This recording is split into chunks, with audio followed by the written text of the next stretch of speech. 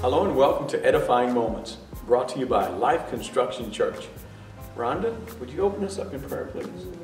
Father, we give you praise, honor, and glory. We thank you for today, Lord God. This is the day that you've made, and we shall rejoice and be glad in it. Lord God, we thank you for our country. We thank you for our nation right now, Lord God. We thank you for the blood of Jesus. We plead the blood of Jesus throughout our whole nation. And we thank you, Lord God, in the name of Jesus, for every family that has been affected for, from the coronavirus. We thank you, Lord God, that they, they can walk in peace during this time, that they can uh, walk in the love of God during this time. And we speak healing on those families that have been affected in the name of Jesus. We thank you, Lord God, for the peace of God shall surround them like a shield in the name of Jesus. Father, we thank you even today as we talk today, Lord God. We thank you for that you will give us eyes to see, ears to hear, and a heart to understand. In Jesus' majestic name, amen. Amen.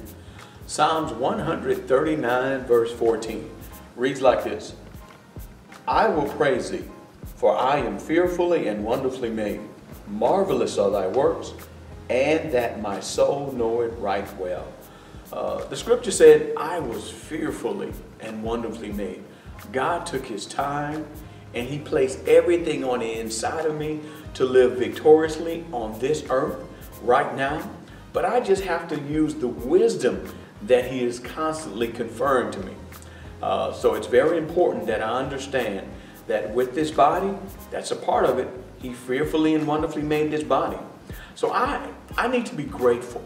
And in order to be grateful, I need to take care of what he gave me. I need to make certain that I exercise this body. I put the proper nutrients in, nutrients in this body because, hey, this is the only one that I had. So that's very important. If you remember the last time we were together, we talked about in Genesis how Esau sold his birthright for a bowl of pottage. So it's very important that we understand that health is our birthright. Healing, fantastic. Thank God for it. But health is God's best for us. You want to add anything? Amen. Um, last week we also talked about um, the books that Apostle had uh, encouraged us all to uh, purchase. One of them is God's Way to Ultimate Health, and the other one is Why Do Christians Get Sick? The information, these resources are wonderful, but however, these books are great. They, they're giving us uh, menus and, and uh, eating habits, teaching us great eating habits, uh, what to eat and what not to eat, what's good for our bodies and what's not good for our bodies. Uh, teaching us that um, things that we thought was good for our bodies, um, like um, uh, um, dairy products, dairy. Um, we thought that was something good to eat, and we find out that dairy is full of things that, that our bodies don't need. So um, I know Apostle talked about this uh, when we first got connected, and he's been sharing for several years that we needed to move to a plant-based diet. Well, Pastor and I, we um, we moved to a plant-based diet uh, a couple of years ago, but Pastor himself, um, he was already a vegetarian. He was a vegetarian for years, but he had a peculiar diet. Although he he wasn't your normal vegetarian, uh, he ate a lot of dairy. But one of the things was everybody thought because he was a vegetarian, he was eating um, salads, you know, green leafy vegetables. No, he was not eating green leafy vegetables. You know, so we we learned how, one of the things that I had to do for him is I had to learn how to juice. And I said, well, how can I get him to eat these green leafy vegetables? And one of the things that we did, we, we started juicing.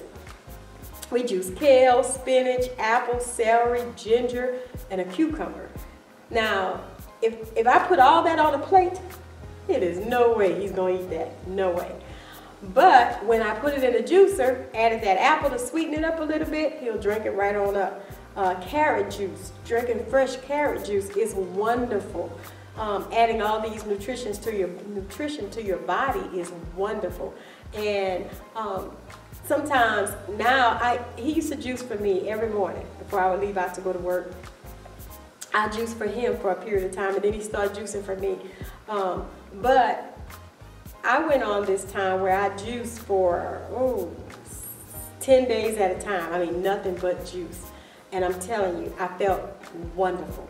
Um, I, I uh, refrained from eating uh, coffee, from drinking coffee, I'm sorry, from drinking coffee. And, um, you know, when you stop drinking caffeine, you immediately start receiving headaches and all these different types of things. And, I, and all of that left. I didn't have to worry about the withdrawals from caffeine. Um, drinking and, and eating properly will cause you not to have the, the side effects from all the things that we were doing, the side effects from eating uh, pork and beef. Uh, I learned a long time ago, I stopped eating beef a long time ago because my body just didn't digest beef. I thought I could handle it. I love meatballs and spaghetti. That is my favorite meal. I love it. But meatballs and spaghetti don't like me. I love hamburgers, but they don't like me. So I had to make a decision. Am I going to eat it for the taste because I really, really love it? Or am I going to eat things for my body that's going to cause my body to function well? And I learned a long time ago that red meat does not function in my body well. So Philippians 4.13 says that I can do all things through Christ who strengthens me. You know, we think that we cannot do this plant-based diet. We think, I, I just can't do it. I gotta have me some meat. But we have to realize that we're doing what's best for us. And yes, you're empowered. God has graced you to eat properly. He set that diet up for us. He, God's way of eating is, is what we need to do. So he set that plan up for us. So therefore, he's already empowered us to do it. He's graced us to do it. So you are empowered to do it. You can do all things through Christ who strengthens you some of the things as far as walking, as far as exercising. I'm encouraging you, even if you, right now, yes, we have to stay inside, but you can get outside in your own yard and just walk around the house.